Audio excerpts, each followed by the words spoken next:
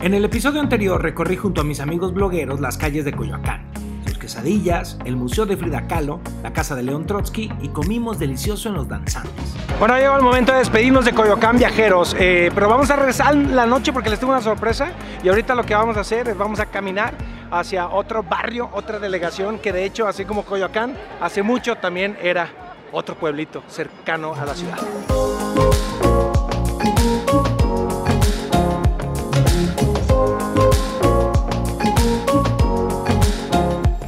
Oigan, eh, yo la verdad bien ilusos pensábamos que podíamos ir caminando desde Coyoacán hasta San Ángel, lo cual se podría hacer, pero tardamos unos 40 minutos y se nos está yendo la luz del día, entonces agarramos un Uber. Jesús, mi amigo Jesús, nos está llevando. La verdad aquí en México conviene mucho que tomen Uber, la verdad funciona muy bien, es barato, hay muchos y me gusta. Uber no patrocina este momento que les estoy diciendo. Simplemente se los comparto, les doy el consejo. Hay que aclarar porque... Bueno, ya estamos llegando. Hasta luego, buenas tardes. Gracias.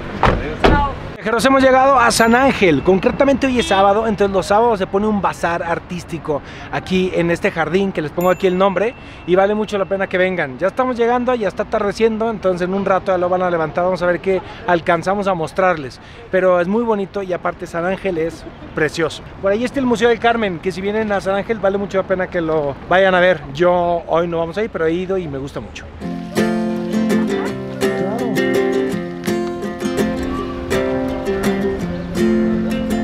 Viajeros, el bazar se pone todos los sábados. El sábado es el día bueno donde están los pintores y todos los puestos. El domingo hay todavía algunos puestos que se ponen, pero así grande, grande, grande son los sábados. Y si quieren a los pintores, esos mismos pintores que se ponen aquí los sábados, los domingos están en el Jardín del Arte en Sullivan. ¿Qué dices, Victoria? Es que estoy anonadada con esto, maravilloso. Mira, te puedes llevar arte para Chile. ¿Me dejarán pasar? Eso Claro. así como... Quiero el cuadro más grande. Oigan, viajeros, pasó algo milagroso. ¿Qué pasó? Que encontramos un cuadro de Lloret, del sitio donde vivimos, de Lloret de Mar. Al- o sea, ¿Cuántos kilómetros estamos de España? Miles. Pues encontrar aquí un cuadro hecho por el, bueno, el abuelo del chico que se lo vendió a la, a la propietaria de la tienda. Increíble. Eso es señal de que México los quiere. Que tenemos que venirnos a vivir aquí. Una de las cosas más increíbles de turistear por las calles de mi ciudad con amigos extranjeros es redescubrir las maravillas de mi país a través de sus ojos. Quiero una calavera. Todo quieres, Victoria. No, mira que yo. Yo aquí Magia que hecha artesanía. Es que aparte la frase. Mira La Catrina. Es pequeña, sí. Pero mira esa. Qué glamour. Mira, esto es helado de garrafa, esto. Hay de queso, tamarindo, coco, vainilla, higo, maracuyá, mamey, fresa. ¿Cuánto cuestan? 15, 20, 25, 30. Ah, yo quiero unos de 20. ¿Cuál es el más popular? Mamey ¿Mamey? o higo. O ¿Y puede ir combina? combinado.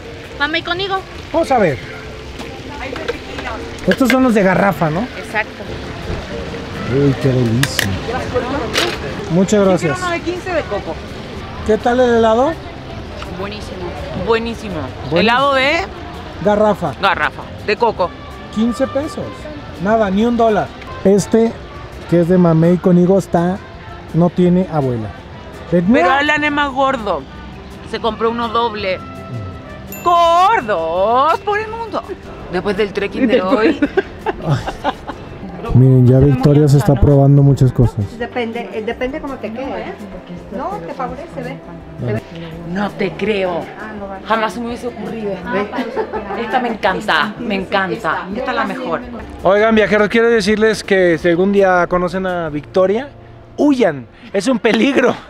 Es un peligro. Se mete a todas las tiendas, quiere comprar todo absolutamente. Ya se compró unas toallas que no puede usar porque son demasiado bonitas y me las va a regalar. No, no me quejo. Eres muy linda. Se llama NutriTraveler nada más por decir, porque ha comido, déjenme decirle. Miren viajeros, para los fanáticos del Día de Muertos, está esta tienda que se llama Día de Muertos Store. Y todos los productos son de inspiración de Día de Muertos. Miren estos mantelitos, que son como si fueran papel picado, pero están hechos de fieltro para la mesa. Estos para los vasos, miren. Increíbles, me encantan. Y luego miren estas. Son de madera, Catrinas, Catrinas, calaveras, de todo tipo. Miren, hasta ahí huicholes. Wow, esto está espectacular, miren. Arte huichol. Esto toma muchísimo tiempo hacerlo. Ya perdimos a Victoria. Está comprando todo compulsivo. Pero enseña, enseña la bolsa que compró. Aquí está. ¿Y dónde se hace este tejido? En Chiapas. Está con descuento, yo por eso te compré. Ajá. Pero, oye, muy bien, muy buena compra. Gracias por apoyar las artesanías de mi país. Yo estoy apoyando el turismo y estoy apoyando las compras y el consumismo de este país. Me encanta México, es maravilloso. Oigan, viajeros, nuestra última cena, nuestra última cena, nuestra última comida del día que hemos tragado todo el día, los traje a comer tacos. Y es complicado elegir una taquería en la Ciudad de México porque hay muchas y todo el mundo tiene su favorita. Entonces, seguramente les digo que los traje esta y alguien va a poner en los comentarios, no, es que está mejor la otra. Así son. Pero a mí me gusta esta, está bien buena, se llama Taquearte y hay varias en todas partes de la ciudad. Miren viajeros, esto se llama chicharrón de queso y es como la costra del queso. Es una deliciosura, miren. Se rompe así. Vanessa, ¿qué pediste? Tacos al pastor Muy bien. Sin piña. piña Yo también, lo mismo. Esta salsa Es la no picante. es la que no pica. Acuérdese que pica dos veces, ¿ah? Esto es lo que yo me pedí, se llama güero, que es un burrito al pastor con guacamole. Mira, mira, mira esto. Gordos. ¿Qué, qué, qué? Gordos por el mundo. Eso, ¿ya qué hago ahora? Lo doblas. Así. Y lo muerdes. ¿Gusta? ¿Gusta? Aquí. No, pero aquí ya no cabe salsa. es Sí imposible. cabe. Sí, ¿Sí? todo cabe en un taco, todo cabe en un taco. Y limón, le puedes también echar limoncito. ¿eh? Soy un desastre comiendo tacos. ¿Qué tal? ¿Qué tal? Buenísimo. Empanzonados hemos terminado, casi terminamos esta noche.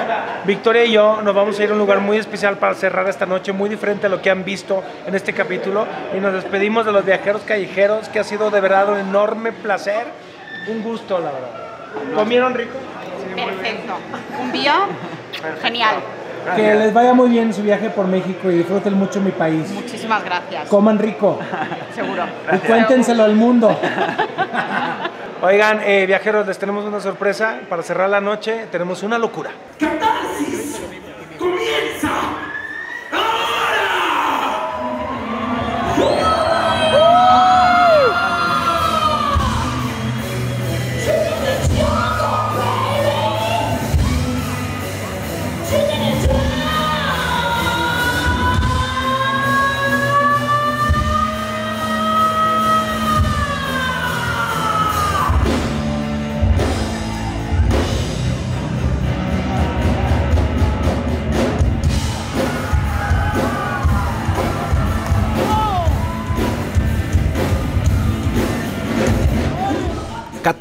es un espectáculo completamente en vivo que nos lleva por un viaje a través del rock en inglés de las últimas décadas.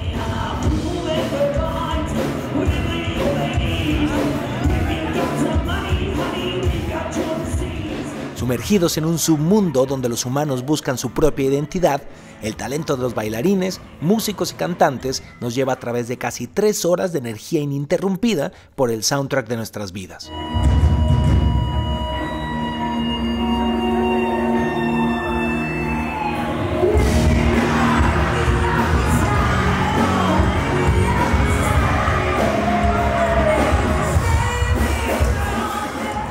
No es ni siquiera necesario ser amante del rock para disfrutarlo. En el lugar se sirve alcohol y comida, lo que lo convierte en un plan nocturno perfecto. Les dejo una probadita del espectáculo para que se animen a verlo. Vale muchísimo la pena.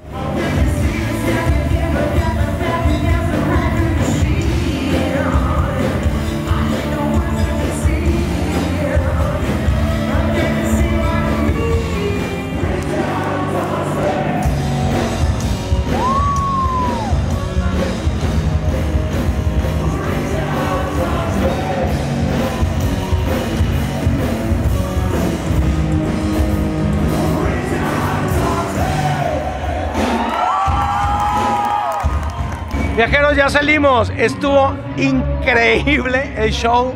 Me encantó. Neta está increíble. una energía. Felicidades a todo el elenco, a los cantantes, a los bailarines. ¡Qué energía! ¡Qué manera! O sea, catarsis. no puedo ni hablar. Hice mi catarsis, te juro, estoy todo ronco. Me encantó. Viernes y sábados vale muchísimo la pena. Catarsis. ¿Les gustó? ¿Les gustó? Hasta David Freeman se coló. Gus. NutriTraveler. Gracias, espero que les haya gustado el video. Comenten todo lo que quieran. Ya no pueden hablar, ya no pueden hablar.